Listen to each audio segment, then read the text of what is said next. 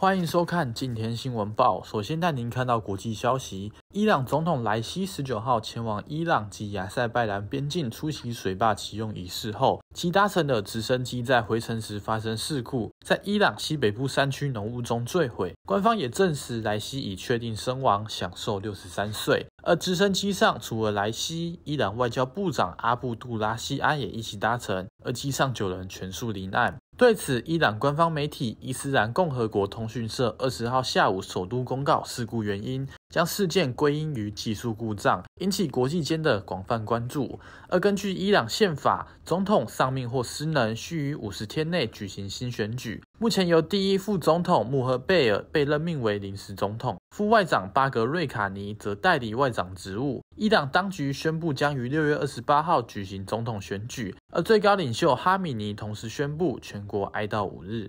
立法院二十一号继续处理国会改革相关法案，但蓝绿立委仍吵成一团。民进党立委要求协商，法案退回重审。立法院长韩国瑜则两度宣布休息，请朝野三党团干部到院长休息室沟通。而一场内，国民党立委吃起香蕉，讽刺太阳花学运。另一方面，民众党日前在游行时吃芭乐配美粉，呛民进党过去八年开芭辣票。民进党今天也运来红心芭乐，邀请民众党团总召黄国昌吃芭乐配美粉。公投护台湾联盟、台湾公民阵线、经济民主联合等团体，二十一号在立法院前发起民主倒退、公民抢救。立院集结阻止国会滥权法案三读活动，民众一早就集结在立法院外抗议，高举没有讨论、没有民主、民主已死、国会挽歌等手牌。而台北市议员苗博雅在中午十二点左右到场，他表示，国民党十年前、十年后同样说辞轮回，都说一切合法，但差别在我们还在这，有些十年前的伙伴已经跟国民党站在一起了。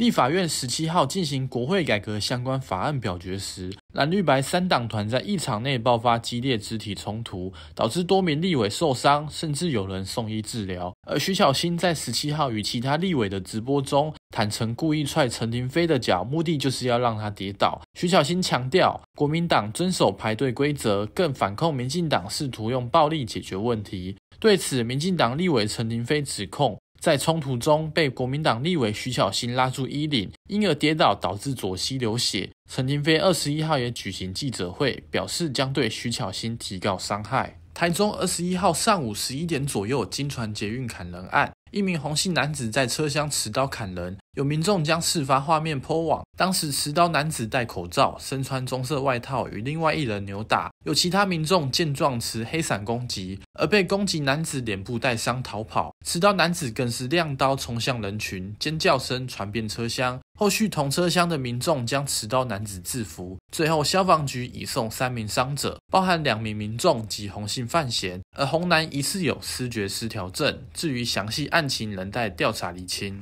中国歌手那英近来担任推理实境秀《萌探二零二四》的固定班底，没想到日前却传出在录影过程中摔倒，节目却仍继续拍摄。而这段画面在微博上疯传，甚至登上热搜，不少人为那英的遭遇抱不平。而当时那英穿着裙子奔跑，在和向佐追逐的过程中被对方扑倒，一度在地上无法站起身。一旁的其他艺人为了要完成节目任务，还是拿着相机对那英说。给你拍张美的好吗？工作人员也持续拍摄，并没有立刻中断录影查看那英的身体状况。南韩女团 Black Pink 成员 Jennie 日前飞往日本展开旅游，近期在社群平台上传在东京拍摄的完美照，期间还被眼尖粉丝捕获，呈现中知名浅草商店街，令不少网友相当羡慕。Jennie 不仅和粉丝们分享了东京晴空塔的照片，还贴出自己在日本买到的战利品和娃娃，而照片一曝光，也让广大的网友激动大喊：“好想和 Jennie 巧遇！”以上是今天的今天新闻报，